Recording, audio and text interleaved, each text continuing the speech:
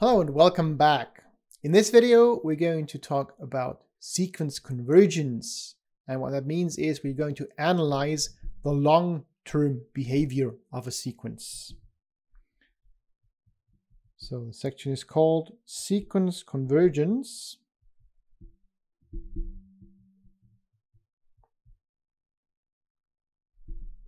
And as I said, the idea here is to talk about the long-term behavior of a sequence.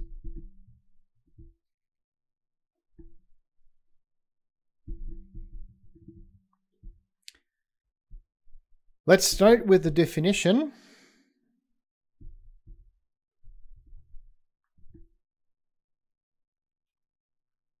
In particular, we'll distinguish basically three cases.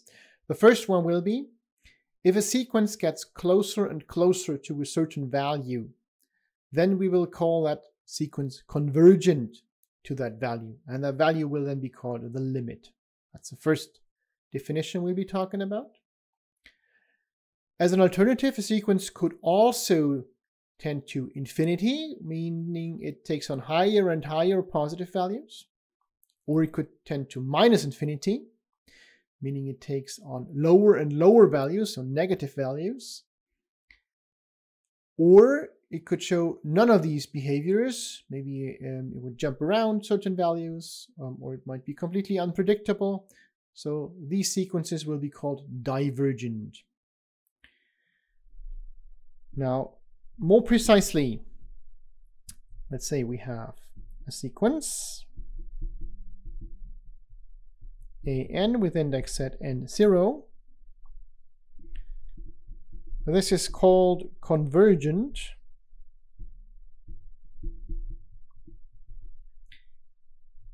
If there is a number that's usually called a or alpha, we call it alpha here to avoid confusion with the sequence itself, that is then a real number, such that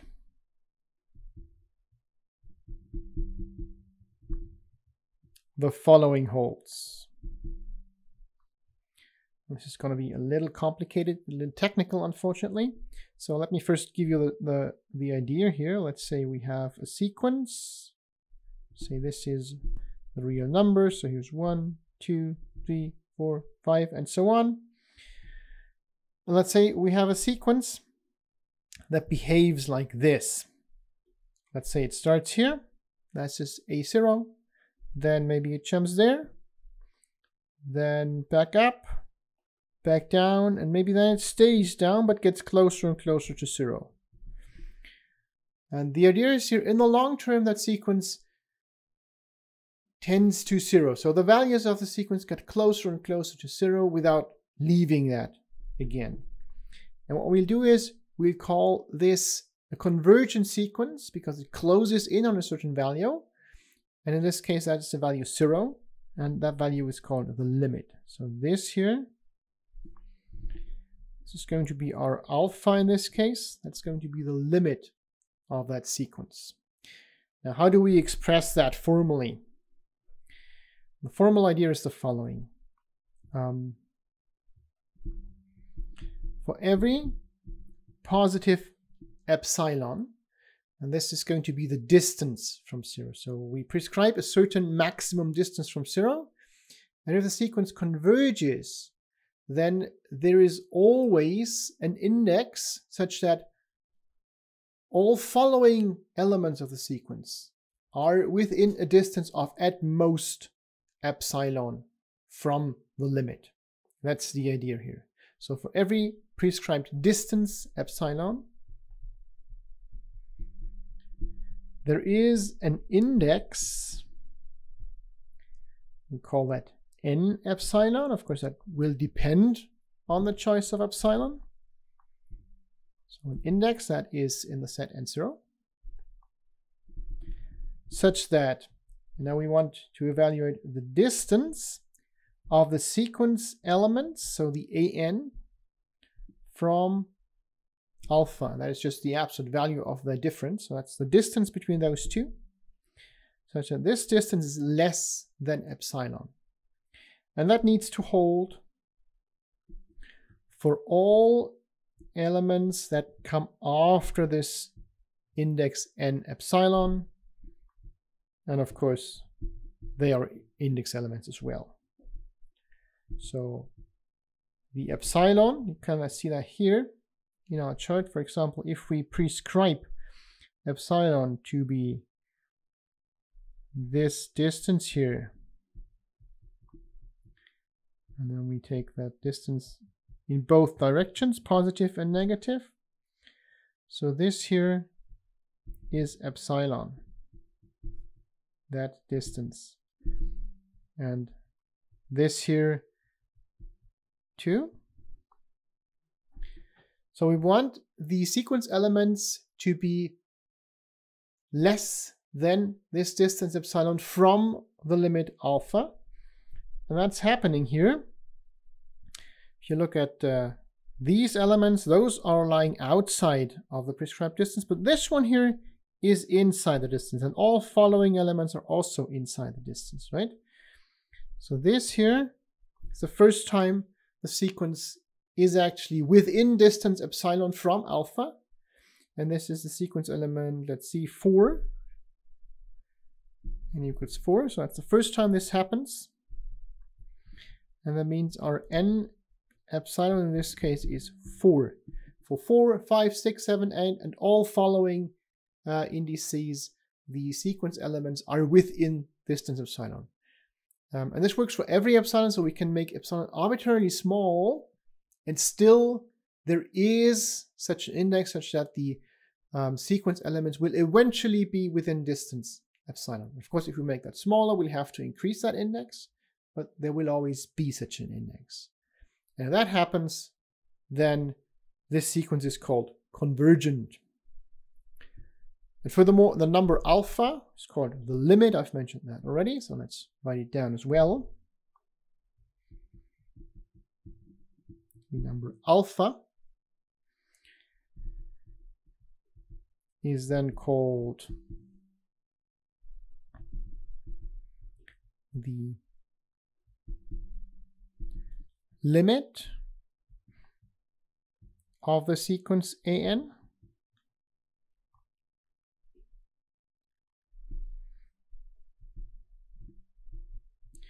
and the notation is we write alpha equals lim of an or sometimes alpha equals lim of an for n to infinity if you want to express that specifically.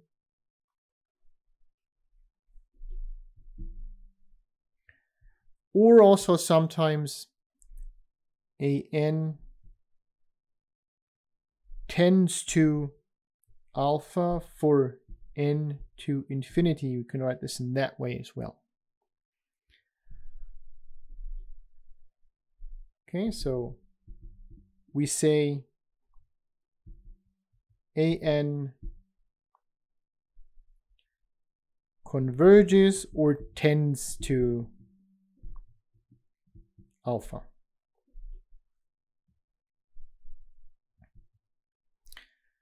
If a sequence is not convergent, we will call it divergent. So divergent is the opposite of convergent.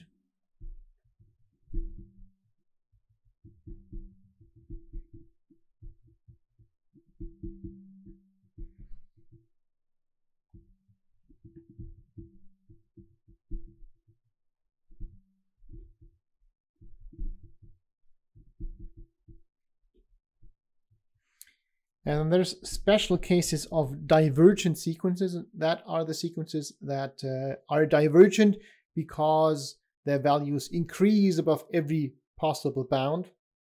And we'll say those tend to infinity, or also the ones that tend to minus infinity means um, they decrease below every possible bound. So a sequence a n n0 is set to 10, so it tends to infinity minus infinity. If for all possible bounds, let's call those uh, B, so all B that are positive, there is a number NB in N0 with, well, either an is greater or equal to that bound for all n greater or equal to nb and of course and in the index set or for the minus infinity we want that an is less or equal to minus b again for all large enough indices so in particular, you notice that the small indices are not relevant. We can always restrict ourselves to the large indices if we're talking about convergence of a sequence.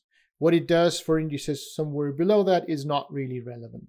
We can always cut off the beginning, so to say, if we're interested in convergence only.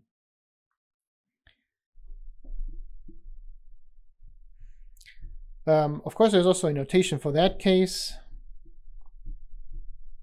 The notation here is simply, we'll write the limit of a n is plus or minus infinity. And please note, a sequence that tends to plus or minus infinity is not convergent. It's still a divergent sequence. It's a special kind of divergent sequence though. So a sequence with limit an equals plus or minus infinity is divergent. It does not have a finite limit and that is why it's divergent.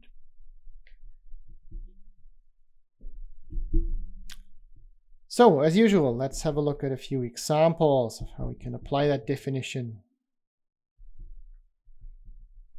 First one, let's have a look at uh, a sequence that we've already encountered, the sequence 1 over 2 to the power of n. And I claim that this sequence converges. We've already seen how it behaves. Um, it starts with 1, then 1 over 2, 1 over 4, 1 over 8, 1 over 16, and so on. And you can see the elements get smaller and smaller, but they all stay above 0, and I claim the limit of the sequence is 0. So an and 0 converges with limit of an being 0. Now, of course, the interesting question here is how do I prove that using my definition? And that's uh, something that we won't do too often, but it might be good to see that at least once. So let's say we have a number epsilon that is positive but arbitrary, arbitrarily small in particular. Um, then we want to show that eventually an minus 0 is below this distance epsilon. So we have a look at an minus 0, and we want that to be less than epsilon. And we'd like to find an index such that this is always the case for indices from that point on. So what do we do? Well, let's uh, substitute the definition. an is simply 1 over 2 to the power of n. Minus 0 is, does not do anything. Um, and 1 over 2 to the power of n is always positive. So we can also forget about the absolute value here. So what we want is this to be less than epsilon. And that of course happens if and only if, let's take the logarithm of that one. The logarithm of the left-hand side is less or equal to the logarithm of epsilon. Notice that we can take the logarithm because both signs are positive.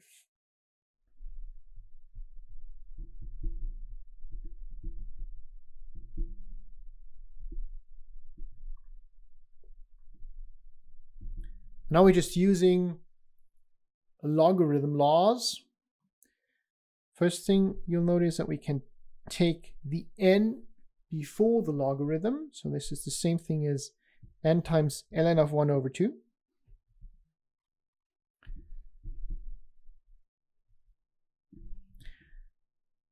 And then, of course, we can just solve this for n.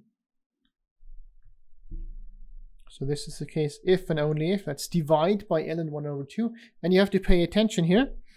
Um, remember that the ln of 1 over 2 is negative. So if you divide by a negative number, then the um, comparison flips, right? So it's not less anymore, it's larger than. So this is larger than ln epsilon over ln 1 over 2. So what we have to do is we just have to set our index n epsilon to exactly this number and epsilon and then 1 over 2 and it needs to be a natural number so of course we, we just round up to make sure it is a natural number. So this is rounding up to the next integer. And then there's uh, this um, case that we have to still respect here that this might actually be a natural number. And then rounding up does not do anything but we need our index to be strictly greater here and not not equal to. So to make sure that is always the case we just add one yeah and then all n's that are greater or equal to capital N epsilon are always greater than this expression here. Okay, so then an minus 0 will always be less than epsilon for all n that are greater or equal to n epsilon. And that means the limit is indeed 0 and that completes our proof.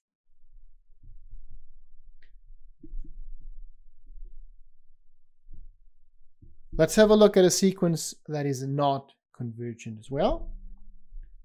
We just take the sequence an equals minus 1 to the power of n. So what that sequence does basically is it, uh, it jumps around like this. So starting at 0, we start at plus 1 then the sequence jumps to minus 1, plus 1, minus 1, and so on. And uh, you can guess this is obviously not a convergent sequence. Um, but how do we show this using the definition? It's obviously bounded, but it's divergent.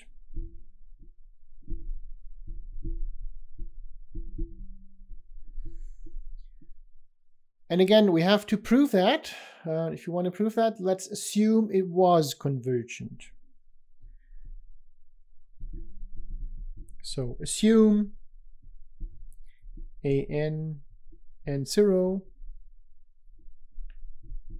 was convergent with limit alpha. Then the first thing we'll note is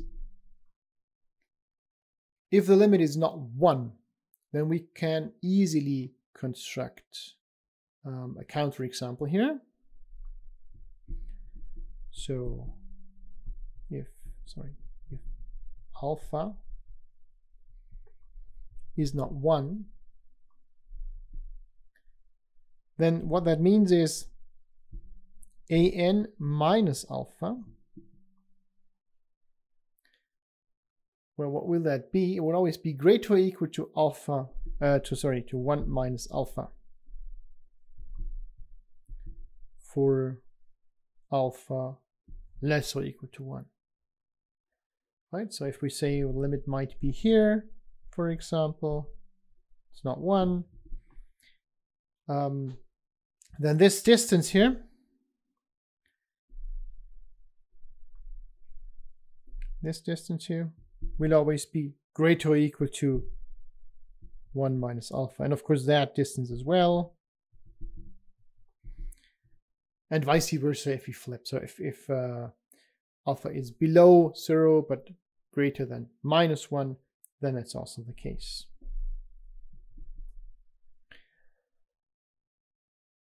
Okay, so obviously um, this cannot zero in, so the limit cannot become arbitrarily small if alpha is not 1. And that means the only possible case is alpha is 1. So let's have a look at 1. Well, obviously then, an minus 1. Let's have a look at the cases where the sequence has a value of minus 1. Then this distance here, between 1 and minus 1 is obviously 2. So this distance is 2 for all odd n. And again, that means there is no index such that this distance becomes arbitrarily small for every subsequent index value. So that means, for example, for epsilon equals 1 over 2,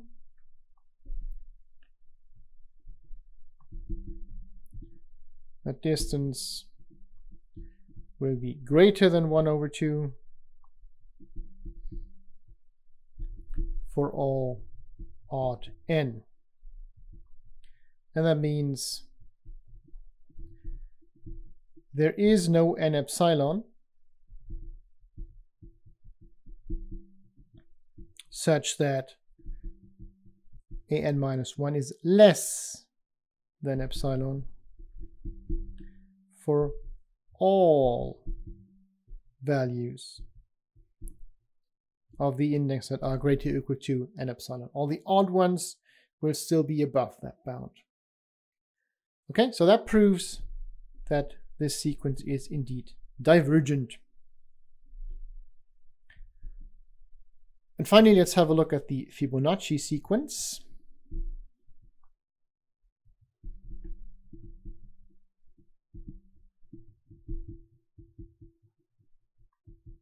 Fn and 0. Okay, you'll remember the Fibonacci sequence was defined by setting f0 to 0, f1 to 1, and then fn plus 1 to fn plus fn minus 1 for n greater or equal to 1. So in particular, that means fn plus 1 is greater or equal to fn. It's an increasing sequence. We noted that already. Also, fn plus 1 is greater or equal to 2 fn minus 1. Simply because it's equal to the sum of these two and this fn in turn is greater or equal to fn minus 1. Let me actually write that down. So fn plus 1 is equal to fn plus fn minus 1. And this here is greater or equal to fn minus 1. Well, so what does that mean? Well, that means, of course, we can just repeat that process and then say, well, this is greater or equal to 2 times 2 times fn minus 3, and so on. So if we start with an odd index, so an index like 2k plus 1, any odd number, then this is greater or equal to 2 times f 2 k minus 1 plus 1 and so on. And if you just repeat that process often enough, we get back to f1, the lowest odd number that we can have as an index. And that will then be greater to uh, 2 to the k times f1. f1 is 1, so that's equal to 2 to the power of k. And what that means is that the Fibonacci sequence outgrows every possible bound, obviously. It's uh, going to be at some point larger than 2 to the k, and of course 2 to the k outgrows every possible bound.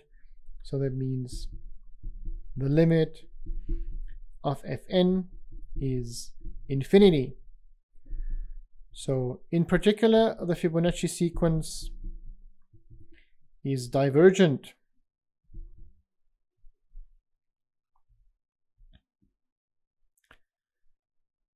Finally, I quickly like to remark that if a sequence is convergent, then of course its limit is uniquely defined. There cannot be two different limits. So if a sequence is convergent,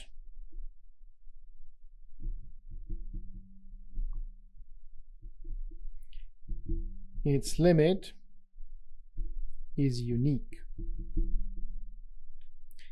And I'd also like to give you a quick proof for that, because that's a nice example of arguments that you'll often see surrounding sequences. Let's say we have a sequence. Let an and 0 be a sequence. And let's say we have two different limits with limits alpha and beta in the real numbers. What we have to show is that necessarily alpha is equal to beta, so they cannot be different. The sequence is, is convergent because it has limits. So let's say we take any positive value for epsilon and we take a corresponding index n epsilon in n0 such that the distance an minus alpha is less than epsilon over 2. I'm of course, um, demand a lower distance here. And also, we'd like an minus beta to have a distance of epsilon over 2 at most. And that is to hold for all n greater or equal to n epsilon. So for this epsilon over 2, we just search the necessary index such that the sequence is within alpha for all subsequent indices. And we also search the index such that it is within beta for all subsequent indices. And we take the larger one of those two. And that's going to be our capital N epsilon. Then the following happens. Let's have a look at the distance of alpha and beta, alpha minus beta we can express that as alpha minus an plus an minus beta. So what we did basically is we added a zero in between. And now we're applying the triangle inequality. This is less or equal to alpha minus an, absolute value, plus an minus beta absolute value. The order of the two summands in the absolute value does not matter. We can always take out the minus one here. So this is less than epsilon over 2 plus epsilon over 2, which is equal to epsilon. And as epsilon was arbitrary, that means we can prove that the distance between alpha and beta becomes arbitrarily small. So that means it can only be 0. Otherwise, if it wasn't zero, we could always take half of that distance as our epsilon and prove it's actually smaller than their own distance would be. So that uh, would be a contradiction. So as epsilon was arbitrarily small, we get alpha minus beta is equal to zero in a distance, and that of course means alpha is equal to beta. That proves that the limit is always unique. And what you should remember from this proof is especially the idea to add a factor of zero. We'll do this more often in the future. And then apply the triangle inequality to the absolute value. Also something that will happen pretty frequently in uh, what we'll discuss in the following. So this completes this introduction to a sequence convergence. There's of course more to say about that and more to say about some special sequences that you should know and that you should know about their limits. But we'll do this in one of the following videos and uh, I hope I'll see you then.